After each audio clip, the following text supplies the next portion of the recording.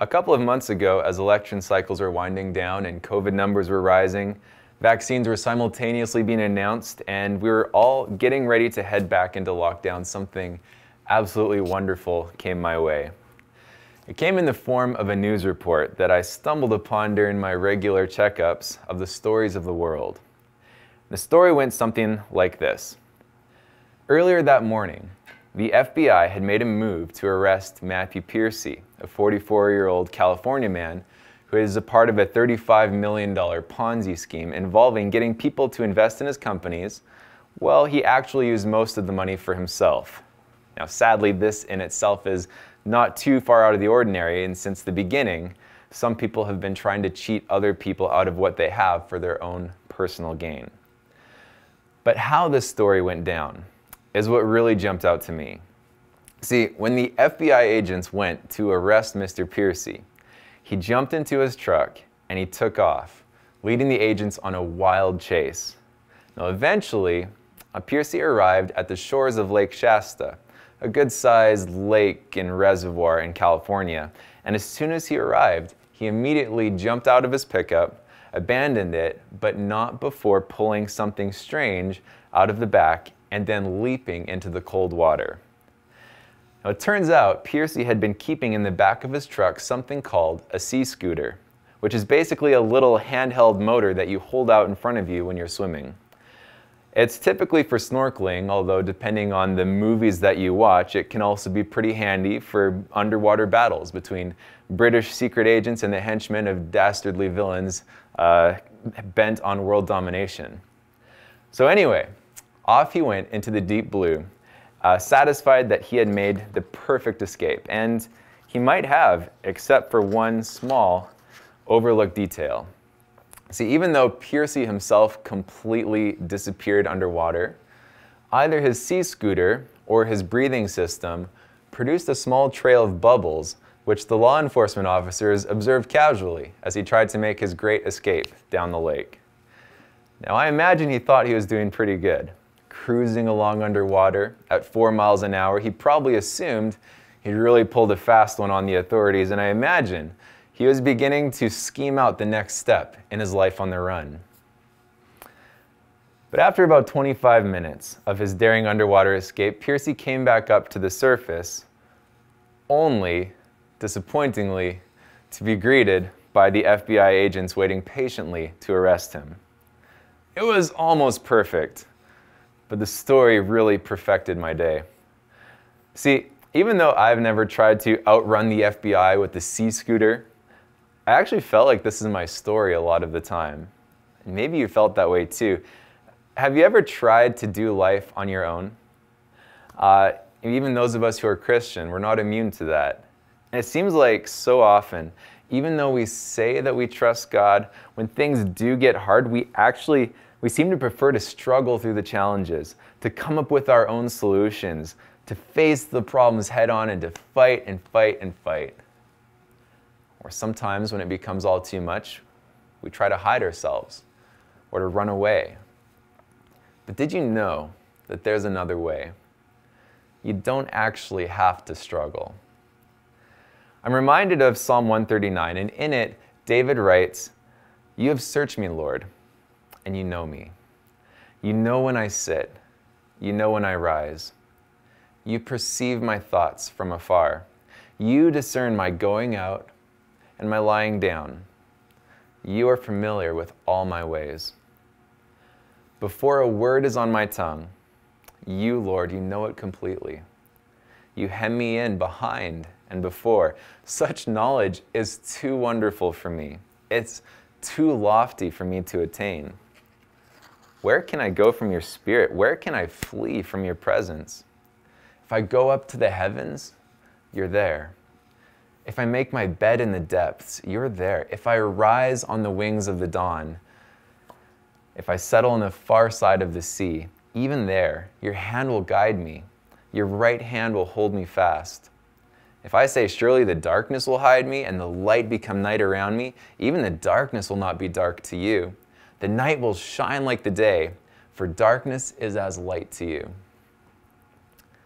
Now, I hope that when I said this, you had these two stories simultaneously playing together in your head the story of the great escape on one side, combined with the story of God's eternal and far reaching love for us. Because our story, it often goes the same way. I mean, here we are pretty early on in 2021.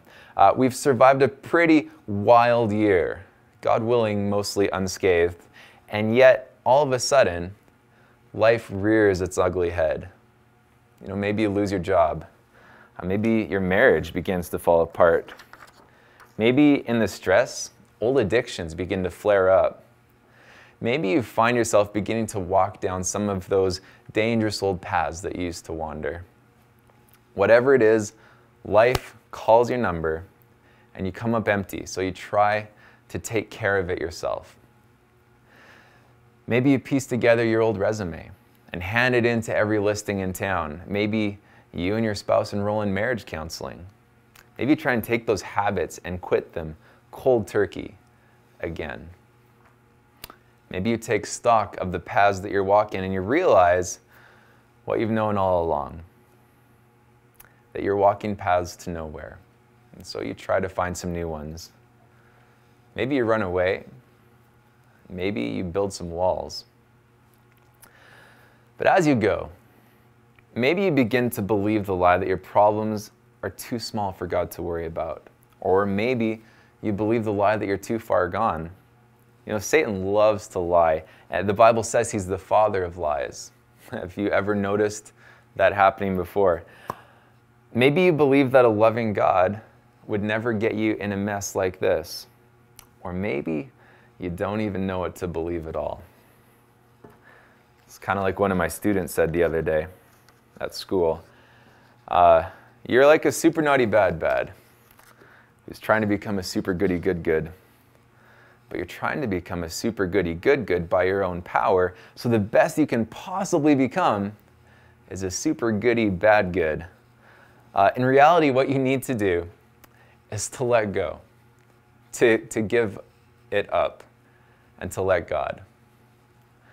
2 Corinthians 5:17 tells us, "By the power of the cross, those who are in Christ become a new creation. The old is dead. Behold, all things are new." What it would feel like to be new. That's the simple story, though, of how to be born again. It's the power of the cross, not the power of your own best efforts sometimes feels like a treadmill on seven. Uh, a super naughty bad bad can't become a super goody good good by their own power. It can't happen. The only way is to give up your control, give up your fears, give up yourself, give up your entire world, and give them all, trust them all to Jesus. That's how a super naughty bad bad was born again into a super goody good good. And it's by grace that you've been saved through faith, and this not of yourselves. It's a gift of God, not by works, so that no one can boast. Ephesians 2.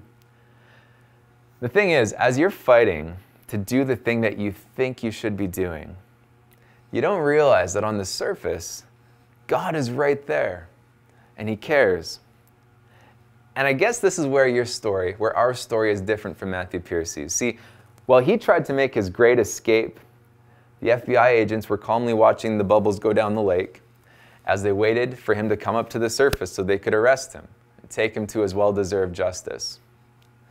But in your story, God is watching you go down the lake, not so he can arrest you and take you to justice, though we probably deserve it but our sentence has already been served by Jesus.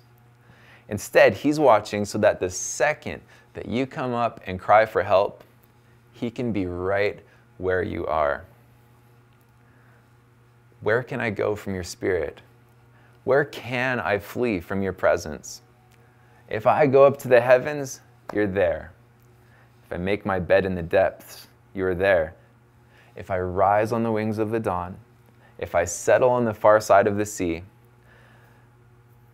even there your hand will guide me. your right hand will hold me fast. If I say, Surely darkness will be dark around me, and the light become night around me, even the darkness will not be dark to you. For the night will shine like the day. Uh, for darkness is as light to you. Isn't that good that darkness is as light to God? It doesn't matter how far you've fallen, it doesn't matter how deep that water is around you. It doesn't matter how many twists and turns you've taken as you ride out your great escape. See, God is there. And He's not there to arrest you, He's there to hold you, He's there to walk with you and to guide you on the paths of heaven. It's true. It may seem strange that after all you've been through that nobody's there to bring you in. But the fact is, somebody's already paid the ultimate price for what you've done. Romans 5, 6 through 8, I love this. It says, You see, at just the right time, when we were still powerless, Christ died for the ungodly. Very rarely will anyone die for a righteous person, though for a good person, someone might possibly dare to die. But God demonstrates his own love for us in this. While we were still sinners, Christ died for us. Wow, while we were still sinners, what a relief. And there's good old John 3:16. Uh, for God so loved the world that he gave his only begotten son that whoever believes in him will not perish, but will have everlasting life. See, not only is God waiting for you in the exact place where you're at, He's watching your bubbles and He's right there with you. He's deeply invested in you. I love this insight from the book Christ's Object Lessons. It says, In the parable, the shepherd goes out to search for one sheep. One is the very least that can be numbered. So, if there had been but one lost soul, Christ would have died for that one. Isn't that amazing? You matter to God. So if you're looking up the cross and you are searching for the reason why, might I offer this simple explanation from Psalm 139, the place where it all began for me. Here's the highlights. You should know them by now. You have searched me, Lord, and you know me. Where can I go from your spirit? Where can I hide from your presence? If I go up to the heavens, you're there. If I make my bed in the depths, you're there. If I say, Surely the darkness will hide me, and the light become night around me, even the darkness will not be dark to you, and the night will shine like the day. For you created my inmost being. You knit me together in my mother's womb. See, that's the reason right there. Jesus created you with great care. He made you just like you are for a reason, for a purpose, and He'll redeem you from wherever you are just as soon as you're ready to let yourself be redeemed. So, my, my plea for you today is this don't keep swimming, don't keep on running away. Come up for air today. Jesus is waiting for you. He loves you, and He's waiting to place your feet on higher ground today.